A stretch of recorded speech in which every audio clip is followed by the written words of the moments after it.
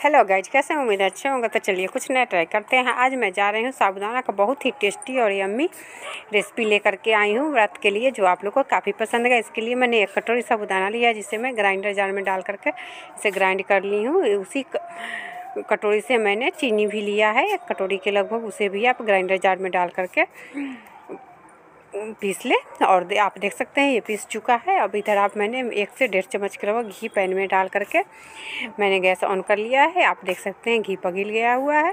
इस तरह से आप भी इसे गर्म कर ले, उसके बाद में आप इसी में डाल दे साबुदाना जो मैंने ग्राइंड किया है, उसे डाल करके अच्छे से धीमी फ्लेम पर इसके चलाते रहें और मिलाएँ इसे अच्छे से।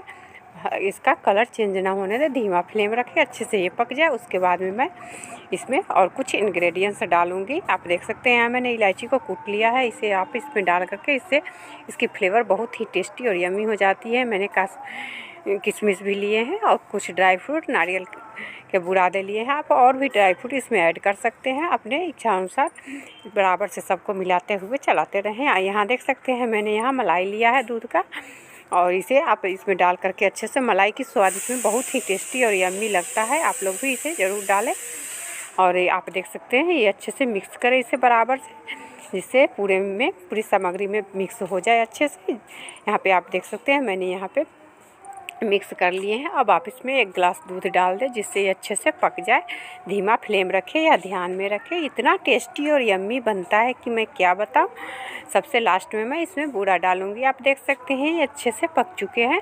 अब इसमें थोड़े थोड़े फ्लेम को बंद कर दें और उसके बाद में इसमें हल्के हल्के डाल करके आप इसे मिक्स करें और पाँच मिनट के लगभग इसे रेस्ट पर आप डालें, जिससे ये अच्छे से सॉफ्ट हो जाए और अच्छा सा ये जम भी जाएगा, ठंडा होने पे।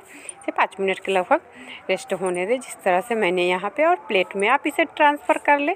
इस तरह से बराबर से पहले मिला ले इसे अच्छे से, उसके बाद में आप इसे ट्रांसफ़र करें। नहीं तो ये कहीं मीठा, कहीं फीका लगेगा, जो अच्छा नहीं लगेगा। आप देख सकते हैं पाँच मिनट हो चुके हैं, रेस्ट हो चुके हैं। आप प्लेट की सहायता से घी लगा लें उस पर और इस तरह से बराबर से फैला ले इसे और नाइफ़ की सहायता से इसे बर्फ़ी का साइज़ देते जाएँ। बराबर से लंबे आकार में पहले कट करें, उसके बाद में इसे बर्फ़ी का आकार दें।